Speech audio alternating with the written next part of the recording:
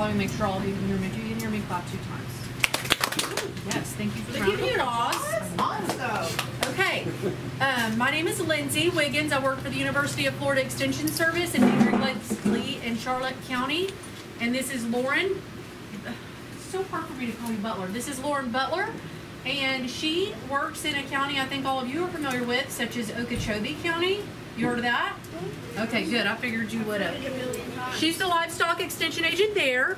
And we wanted to do this station today because we feel like the cow kids and the kids that are showing steers, heifers, dairy cows, show goats, pigs, all of those food animals have a responsibility and an opportunity when those animals are being vaccinated, doctored, treated for something, um, castrated, whatever's going on. You are able to do some of that work, um, even though it seems like it's grown-ups that get to do that work for the most most part.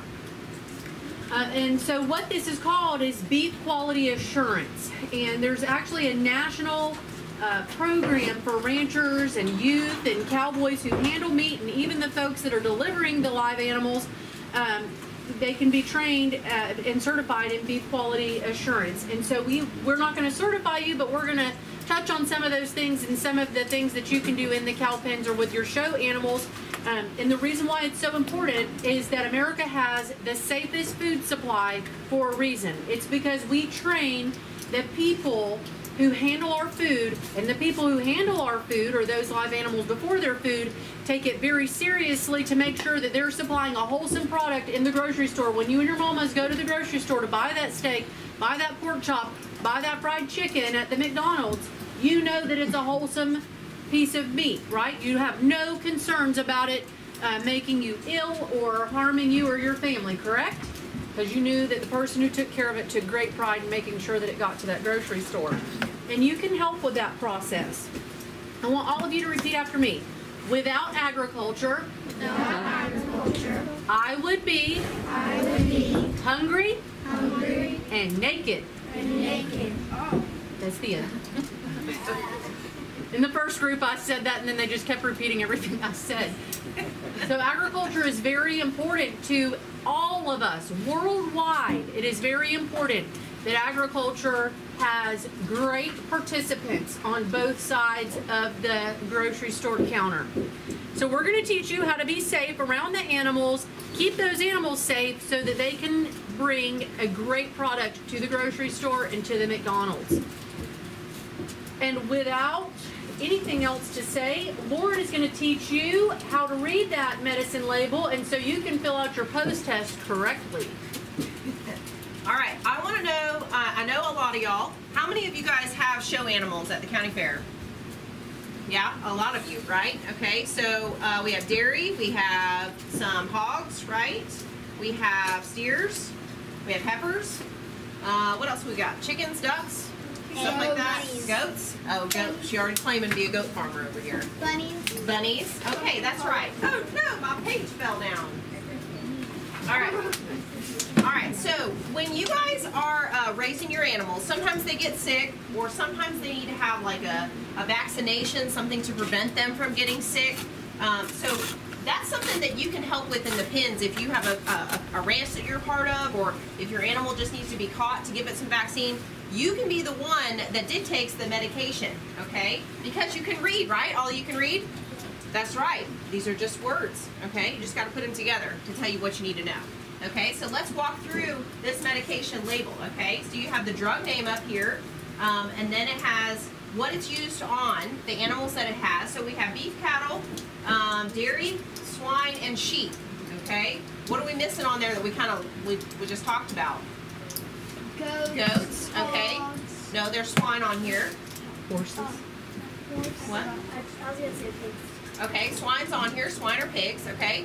What else? Rabbits. Rabbits, that's right. Okay, so not there. You can't use this on poultry. You can't use it on rabbits, horses. Okay, so follow the label. Okay, it's illegal to go off label unless you have permission from a veterinarian, and even then they should probably do it. Okay.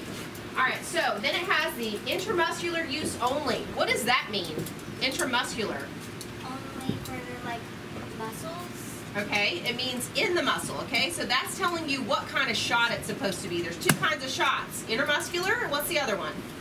Um, I, I know it and I got it. Subcutaneous. Okay, which is under the skin. All right, so intermuscular, you're going to go straight into that muscle, and subcutaneous is right under the skin, which is how we actually do a lot of our uh, medications. Our vaccines are usually right under the skin. Okay, and sometimes it takes a little bit of practice to get that shot right. Okay. All right, so this one says for intermuscular use only. It has the active ingredients. Um, it has what it treats, okay, and then it has the daily dose. All right, so your veterinarian has said um, you need to treat your animal. Um, say it's a heifer, okay. Maybe she's just in the beginning of her project. Maybe she's like 600 pounds, okay. So it says the usual dose is two mLs per 100 pounds of body weight, okay. So you're gonna you're gonna multiply two times whatever pounds she is. All right, so she's 600 pounds. So two times six in this case. All right, so 600 pounds. So we're going to be a little more than, we're going to be 12 mLs. All right, two times six, 12 mLs. Okay. Also another tip, mLs and cc, sometimes that's how it's listed. Those are the same thing. Okay, so don't get confused there. All right. So you're just going to read the label and do what it says, but you've got to be able to tell how much your animal weighs. So sometimes um, there's tapes that can go around the abdomen of the animal that can tell you how much it weighs. Um, some chutes have scales on them, okay? So you need to be aware of that and how much, how big they are versus how much they weigh, okay? All right, so then it talks about if there's a concern for the for the uh, drug, it gives you some warnings down here. It's uh, this one actually talks about lactating animals, okay? Most of ours have something called a withdrawal time. Does anybody know what that means?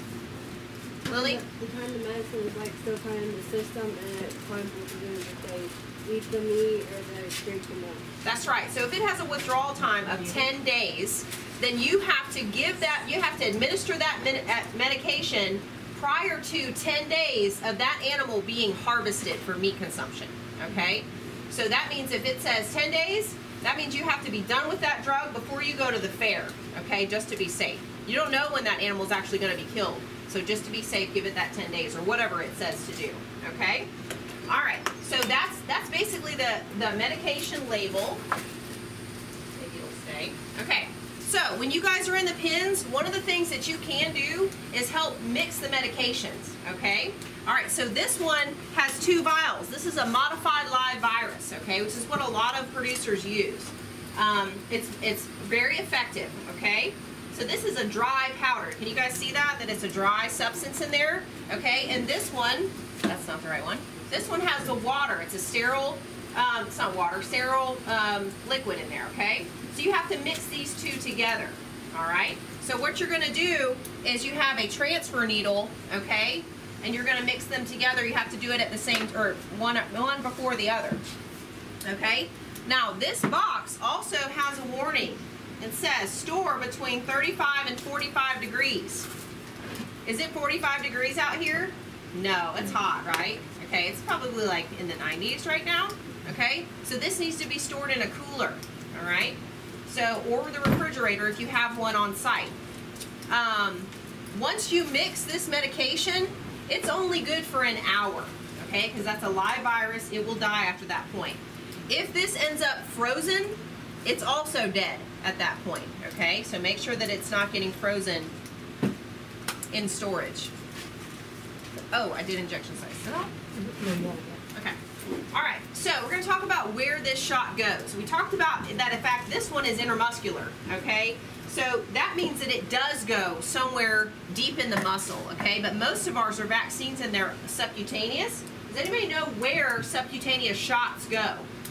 Lily? It's, you pick up the skin, it's like in their neck. In the neck. Why is it in the neck? Does anybody know? Taylor? The neck is like it has more skin and it is better to put it in there. It is better to put it in there, okay? It does have more skin, so it's easier to pick it up and then insert the needle under the skin. But also because this quality of meat is not as good as the rest of the body, okay? So back here is like your Arby's roast beef, and that's really valuable, okay? So we don't want any puncture wounds back here in this muscle. So we can put it right up under the neck, And, and that, that meat quality is just not as good, so it's okay if it gets a little damaged. But we don't want to damage it, okay? That's definitely not the goal because then that's money out of your pocket. Um, another place you can give them is right up under the underarm here, but it's really, it's not a really a normal place to do it unless you run out of room up here. Because if you have multiple shots, they should be three inches apart, okay? So three fingertips apart, okay? Lindsey, take it away. I forgot to introduce the superstar of our show, Austin Bateman, back here in the back. He's running the squeeze chute for us. He brought all these cows up here so that y'all could learn today. He works here at the University of Florida Ona Range Cattle Research and Education Center. He manages the cow herd and he's an awesome cowboy and we're very grateful to have him. And he's gonna um, give us a cow in the chute in a few minutes and I'm gonna ask for two volunteers to come up and do something that I think Yep, do you both reading right? Okay, come on, come on.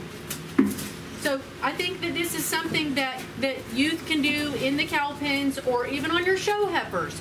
You can bleed your show heifers and determine pregnancy. We can use that it in your blood pocket. You're gonna do it to um, do disease disease diagnosis also. The first thing we have to do is this test tube is going to be linked to that cow. So how it doesn't have anything on there that specifies it's a black cow with some white on her or whatever. How do we identify her? Grayson and Ryland. How do you think we should identify her? She got a brand? She should. Go, let's go look around. Let's go see how we can identify her. Also, be very careful. What's she got? She has a black number on the side of her. Yes, she does. Which one you want to use? Just pick one. 18. 18. Okay, come on. Well,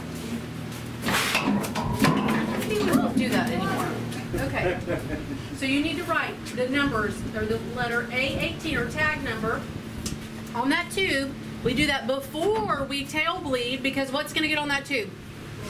blood, manure, all kinds of stuff, and then we can't write on it any longer, and so um, the, the lab can wipe that off and still see that we uh, they're testing A18. We're gonna get a needle out because this needle and this test tube is for this cow. We cannot use this for another cow once we have her blood in it. We cannot use this for another cow once this has her blood on it because it's contaminated then, right? and it could affect the results, especially if it's a pregnancy diagnosis or even a disease. This is a double-sided needle. We'll pull this out, and you have to be very careful when you're handling these. And then I pull this rubber thing off so these kids can see when we've hit the vein. Okay, you hold the, who, Rylan, you want to hold the test tube? We're going to go up here. And when you bleed a cow, it's different, or when you when you bleed the tail, it's different than whenever you bleed a jugular vein in a human or in a horse, for example, where you kind of stay along the neck and you go uh, like at a 45 degree angle into the jugular. We don't do that for a cow. We go 90 degrees perpendicular to the tail. There's a groove right in the center of the tail, and you can run your thumb, along there. You can do it, Bryce, Bryson. Run your hand along here. Woo! Run your hand along here and feel for that groove right along. See where my fingers are? Yeah. You feel there's like a canal right there or a ditch?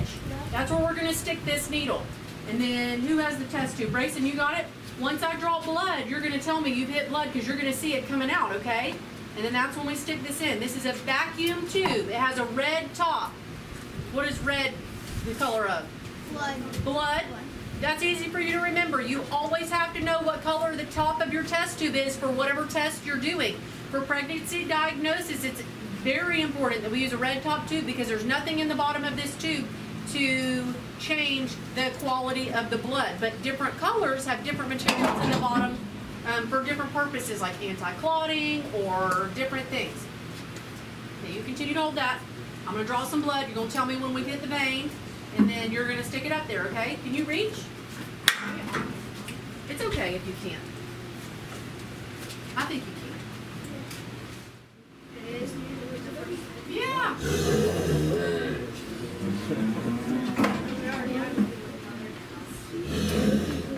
Austin might not have brought that many cows for us. Okay, we got blood. Okay, you see the dripping? Hurry, bring your tube up here. No, no, leave it on. This is a vacuum sealed tube, so we put it in, and it sucks the blood out. We get two mils, and that's just like two fingers. So you can put this up because that's part of safety. There you go. Sorry, sometimes it works that way. Okay, so this is two cc's or two mils. Um, it's two fingers from the bottom. The lab needs at least two cc's to be able to do the test.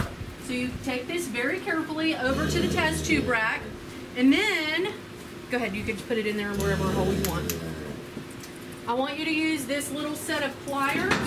These things cost like 15 bucks. They fit in your pocket. They're a great tool to have. You can use them for splinters, pinch somebody's face, or mechanic and whatever you need to do. Do you want to pull the needle off? And then we're going to put it in a what? What are we going to do with the needle? Grab the yellow part.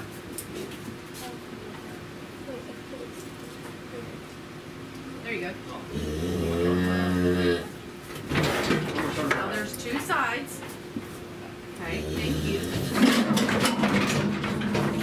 We can't just put the needles in the regular trash. Where do they have to go? Have a sharps container. This is a bona fide official sharps container. Container probably has a label on it. Um, it's a label for the cow pens.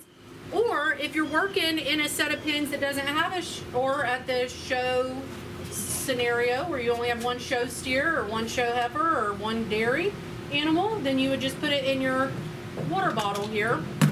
Now I labeled this as trash so that in case there's a little bit of water in there and you're thirsting to death, you don't drink out of this, but this has its own trash label. It says purified water, which is trash. It's disgusting water. You can't even clean out your medicine tubes with this because it's trash. But I did put a T on the top. Purified water has chlorine and other additives in it so that it can um, be considered purified. I don't drink this. I don't recommend you drink it. Um, where's my, oh, so in the end, whenever the kids are getting ready to help their parents get back in the truck or you're finishing up with your show steer stuff, we can start, y'all can start cleaning up. Um, some things that you can do is clean the medicine hoses or the medicine guns. And here is the true star of the show for water. It's spring water. It doesn't have anything else added in it but pure goodness, hydrogen and oxygen. Don't use purified water to clean this out, or you will um, jeopardize the quality of your antibiotic and your vaccine because there's chlorine in there and other minerals that can build up in these hoses. Don't use it in here. Don't use soap and water. Don't use uh, chlorine or bleach or anything like that. Just good old spring water is all you have to use. Okay, let's get another volunteer to clean out the gun. You haven't volunteered yet. Okay, so we're gonna put this on here. Now there's a needle hooked to the other side. Okay, so you need to pull your needle off. Y'all need to scoot back a little bit, otherwise I feel like he's gonna have some fun with this and squirt you. Okay, then you hold it like a gun, you know, like you're gonna shoot something. It's gonna shoot it right there. Okay, and we hold this up high, shoot, start cleaning out this hose and that gun, get all that medicine cleaned out of there. You just wanna do it a couple times. There you go. Okay, you keep going. We're gonna hold this up high, make sure we get all the get that gun nice and clean. Luckily, you can see through that gun. This is all stuff that y'all can do, right? There's a lot of stuff in the cow pens that the little ones can't do, but this is all stuff you can help with and make sure that it's staying. Okay, that's good. You're, you're a great gun cleaner. Thank you so much. And you can have a Kit Kat if you would like. Oh, and you kept the lid. Perfect. So at the end of this, we would also remove this with our little pliers, put this where? In our sharps container, which is either this or your water bottle that you have the lid for. And then we just store this so that that hose can continue to drain out the water and be dry for the next working. Um, I think that's everything. Oh, I did have one more thing to show y'all. If y'all are doing castrations, um, you can use a tagging knife or a pocket knife or whatever you're castrating with, but you want to clean whatever blade you're using between each animal. And we have a chlorhexidine solution. You'll just pour this directly into the bucket, dip your knife your tagging knife or your um, or your castration knife or your pocket knife in here and pull it out and keep on working. And then at the end, same thing. Clean it off really good. And this solution is a disinfectant, so it's gonna. What gets on your tagging knife whenever you're castrating or on your castration knife? Blood. Blood, vas deferens tubes at the tip of the testicles. What else? Who's ever castrated before? We're at the end of the cow that the poop comes out. So sometimes poop gets on this knife and you want it to be clean because I don't know how many of you have um, went to the doctor or maybe you have siblings. If you go to the doctor to get a medical procedure, you certainly don't want someone's poop on the medical um, equipment that they're going to be using, right? Why not? Because then it will be way too disgusting, and plus you could spread germs. way too disgusting. That's the most scientific reason I've ever heard, Hannah. Yes, it would be way too disgusting and it could spread germs. So we just clean it off in this solution. It's also good to stick your hands in there every now and then if you're castrating a bunch of them. Your hands got dirty. Well, that happens sometimes, but I'm going to wash them before I eat, most likely. Most likely. Depends on how hungry I am. See, my fingers look clean. No, just one hand.